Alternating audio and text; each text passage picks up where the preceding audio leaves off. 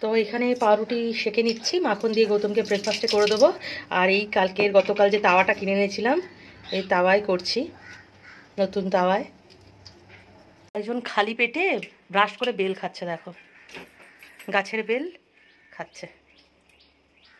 Bread butter, তার সাথে paper. চিনি তো খায় না, গোলমরিচ আর এদিকে একটা কলা। গুড মর্নিং বন্ধুরা, তোমরা কেমন আছো? আশা করি খুব খুব ভালো আছো। তো আমি আগের থেকে অনেক বেশি ভালো থাকার চেষ্টা করছি আর ভালো তো থাকতেই হবে। উৎসাহ, গৌতম আর তোমাদের জন্য তো ভালো থাকতেই হবে। মনকে অনেক বেশি শক্ত করে নিয়েছি। তোমরা বারবার বলেছ পাশে আছি, তো আমিও মনটাকে শক্ত করে নিয়েছি। লড়তে হবে, বাঁচতে হবে, একদম বুঝতে পেরেছি, এইভাবেই আমাকে চলতে হবে। আর সকালবেলা গৌতমকে ব্রেকফাস্টে আজকে পাউরুটি আর ব্রেড মানে মাখন আর পাউরুটি করে দিয়েছি। আর একটা কলা খেয়ে গেছে। আর আজকে ব্রেকফাস্টে যেহেতু বেশি ঝামেলা ছিল না, আমি ঝটপট দেখি উৎসাহ ঘুমিয়ে আছে। আমি স্নান ঠান করে আগে এখানে ঠাকুরটাকে দিয়ে নিয়েছি। ঠাকুরের ঠাকুর সেবা হয়ে গেছে মানে একটা টেনশন দূর, তোমরা তো সবাই জানো। ওটা একটা বড় কাজ থাকে আর এবার আমি আর উৎসাহ উৎসাহ যেহেতু ঘুম থেকে উঠেছে, এখন বিছানাটা ঠিক করতে হবে। বিছানাটা এইভাবে রেখে আমি সকালবেলা সমস্ত কাজ করেছিলাম। উৎসাহ যেহেতু উঠে গেছে, বিছানাটা একটুখানি গুছিয়ে নেব। গুছিয়ে নেওয়ার পর আমি আর উৎসাহ ব্রেকফাস্ট করব। আমার আর উৎসাহ ব্রেকফাস্ট তো দেখেছিলে, ওটস কালকের ওভারনাইট সোপ করে রেখে দিয়েছিলাম, সেটাই আজকের খাব। তো যারা এখনও লাইক দাওনি, একটা লাইক দিয়ে স্কিপ না করে ভিডিওটা দেখা শুরু করো। এটা গতকাল রাতে ওটসটা আমি ভিজিয়ে রেখেছিলাম। ওটসটা সারা রাত দুধ, দই আর চিয়া সিডস দিয়ে ভিজিয়ে রেখেছিলাম, ফ্রিজে রেখেছিলাম, কিন্তু এখন যে কোনো সিজনাল ফুড দিয়ে খাওয়া যায়, আমার কাছে কলা আর বেদানা আছে বলে আমি এটাই নিয়ে নিচ্ছি। তার সাথে যাবে একটু ড্রাই ফ্রুটস আর যেহেতু আমি চিনি খাই না, এর সাথে একটুখানি হানি অ্যাড করব মানে মধু। দেখতে কি কালারফুল হয়েছে? একদম হেলদি ব্রেকফাস্ট আজকে উৎসার আমার এইটাই ব্রেকফাস্ট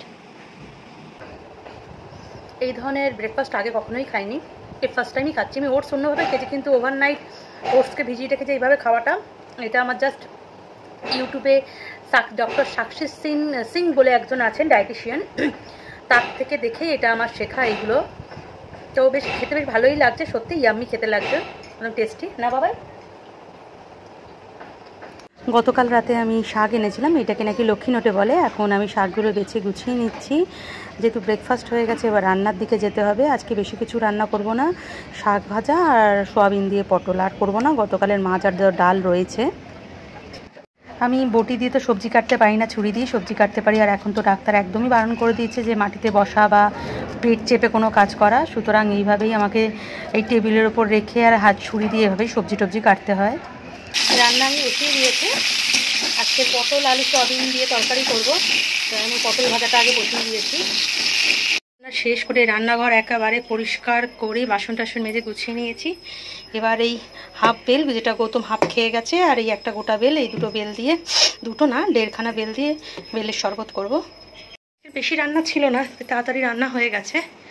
আর ঘরের ভিতরে এসে দেখছি, দেখো আর একজন পড়তে পড়তে ঘুমিয়ে পড়েছিল, আবার আমার আওয়াজে তাকাচ্ছে। পড়তে পড়তেই ঘুমিয়ে পড়েছে।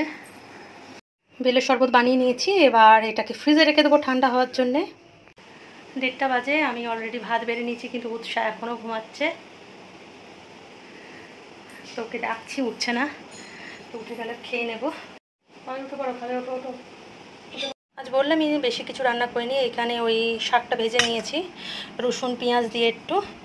আর গতকালের মাছ রয়েছে দু পিস এখানে গতকালের লাউ ডাল রয়েছে। এখানে সোয়াবিন পটলের তরকারিটা করেছি আজকে। ভাত বেড়ে নিয়েছি, খেয়াল ছিল না যে ওষুধ খাইনি। এখন ভাত ঢাকা দিয়ে ওষুধ খেতে হবে, ওষুধ খাওয়ার হয়তো আধা ঘণ্টা পর ভাত খেতে পারব। কি অবস্থা, ভুলো মন। আর ওটা সারবে কী করে যদি ওষুধটাই না খাই আমি? এখন সাড়ে চারটে বাজছে উৎসাহ একটু আগেই করতে গেল, আর আমি এখন ঘরের গেটের সামনে এসে বসেছি। ঘরের ভিতরে ভীষণ মোমোট তার বাইরে একটু হালকা হাওয়া হচ্ছে, বেশ ভালো লাগছে। আর বেলের পানা নিয়ে নিয়েছি। উৎসাহ একটু বেলের শরবত খেয়ে গেছে পড়তে, আর আমি একটুখানি নিয়ে নিয়েছি। ঠান্ডা ঠান্ডা বেশ ভালো লাগছে। শুভ সন্ধ্যা বন্ধুরা এখনও উৎসাহ টিউশন ক্লাস থেকে ফেরেনি এখনও গৌতমও বাড়ি ফেরেনি। আমি ঝটপট সন্ধ্যাটা দিয়ে নিই। বাইরে বৃষ্টি শুরু হয়ে গেছে, মেঘ ডাকছে, আর এদিকে আমি ভুট্টা পোড়াচ্ছি। সন্ধ্যা সন্ধ্যা আমার দেওয়া হয়ে গেছে, ঘরে একা। গৌতম এখনও ফেরেনি। অফিস থেকেও চলে গেছে আমাদের বিজনেসের জিনিসপত্র যেখান থেকে নিয়ে আসে, সেখান থেকে একদম ডিরেক্ট মালপত্র নিয়ে ও বাড়ি মানে ফিরবে। যেহেতু বৃষ্টি আসছে ফোন করে বলে দিল, বৃষ্টি আসছে, একেবারে জিনিস নিয়ে আসব। নাহলে ঝড় বৃষ্টি আসলে অসুবিধা হয়ে যাবে, পরে বেরোতে পারবে না। আর উৎসাহ টিউশন ক্লাসে সাড়ে চারটের সময় গেছিল ছটায় ফিরেছিল, আবার আধা ঘণ্টার ব্রেক নিয়ে সাড়ে ছটায় আর একটা টিউশন ক্লাসে চলে গেছে। ওর ফিরতে ফিরতে সাড়ে আটটা, যেহেতু আজকে দুটো দুটো টিউশন ক্লাস আছে। আর আমি ঘরে একা বোকার মতো বাইরে বৃষ্টি হচ্ছে। টিভি চালিয়ে রেখেছি কিন্তু সাউন্ড মিউট করা। মানে চলছে, মনে হচ্ছে আমার সাথে কেউ একজন আছে, কিন্তু টিভি দেখতে আমি খুব একটা ভালোবাসি না। ওই চালিয়ে রেখে দিয়েছি। চলছে টিভি টিভির মতো আর আমি আমার মতো। আর বৃষ্টি আস্তে আস্তে ঝড় আর ঝড়টাও বাড়ছে, বৃষ্টিটাও বাড়ছে। আস্তে আস্তে বৃষ্টি বাড়ছে। বেশ ভালোই হাওয়া হচ্ছে।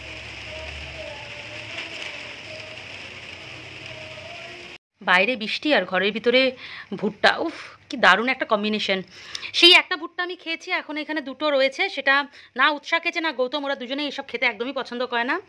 অগত্যা আমি খাচ্ছি গরিব মানুষ আমি আমি এগুলো খাই, ওরা তো বড়লোক মানুষ। ওদের রোল চাউমিন টিফিনে লাগে, আমি তো এগুলো খেয়ে নেব, আর এখন আমি অন্য কিছু খেতেও পারব না, কিছু করার নেই। গুড মর্নিং বন্ধুরা। গতকাল রাতে আমি ভিডিওটা এন্ড করতে পারিনি, তো আজকের এখন সাড়ে এগারোটা বাজে, আমি তোমাদের সামনে চলে এসেছি। তো গতকাল হঠাৎ দেখলেই তুমি ঠিকঠাক ছিলাম, তোমাদের সাথে হেসে কথা বলছিলাম, ভুট্টা খেলাম, মজা করলাম। হঠাৎ একটা পেটে পেন মানে সে মারাত্মক পেন যেটাকে আমি বলে বোঝাতে পারব না, তার সাথে ব্লিডিং স্টার্ট হয়ে গিয়েছিল। মানে একটা মানে সাংঘাতিক একটা সিচুয়েশন তৈরি হয়েছিল। তার ফলে মানে সকালবেলা আমি সারা রাত ওইভাবে কষ্ট পেয়েছি, রাতে আমরা ডিনার করিনি আমি আর গৌতম। ভীষণ ঘাবড়ে গেছিলাম, ভয় পেয়ে গেছিলাম।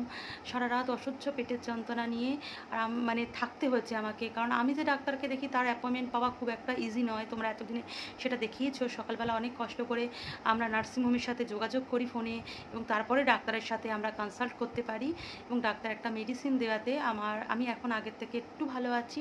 তোমরা আমার চোখ মুখ দেখেই বুঝতে পারবে যে কী গেছে গতকালটা আমার। তো এখন একটু ভালো আছি। তো ডাক্তারের ডাক্তারের যে মানে বক্তব্য যে, আমার তো একদম বেড রেস্ট ছিল।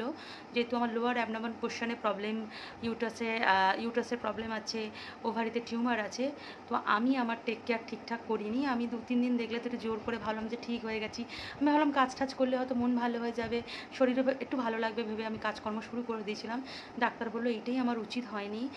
মানে মাটিতে এই ঠাকুর দেওয়া মানে বসা, ওঠা বারবার, বসে জামা কাপড় কাচা এই সব যে দৌড়াদৌড়ি করে ঘরের কাজ করা, এগুলো এখন আমার একদমই বারণ ছিল।